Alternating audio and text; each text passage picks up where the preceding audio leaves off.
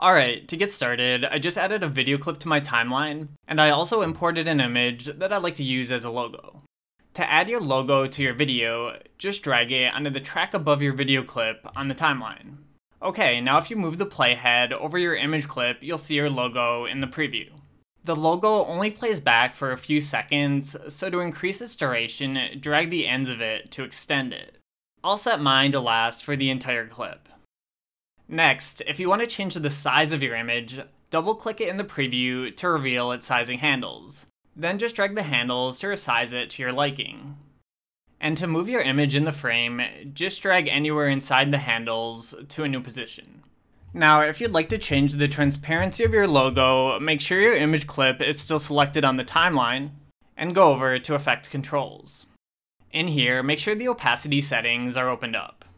Then drag the opacity's value to decrease it to your liking. This will make your image more transparent.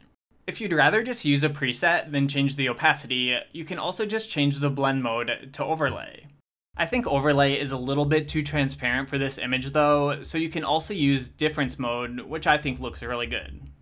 Okay, you should be set if your image has a transparent background to start with, but let's say you're working with a JPEG with a white background. To get rid of the white background, uh, let's start by going over to the effects panel. Then type color key into the search box. Drag the color key effect onto your image clip on the timeline. Now, up in effect controls for your image, you'll see the color key effect. Next to color key, click this little dropper button. Then click anywhere inside the white background of your image to get rid of it. This already got rid of most of it, but to get rid of the rest of the white, we'll need to increase the color tolerance. You can also play around with the other two settings if you're still not getting the look you're going for, but mine looks good as it is. Alright, and that's it for this tutorial. Thanks for watching and see you next time.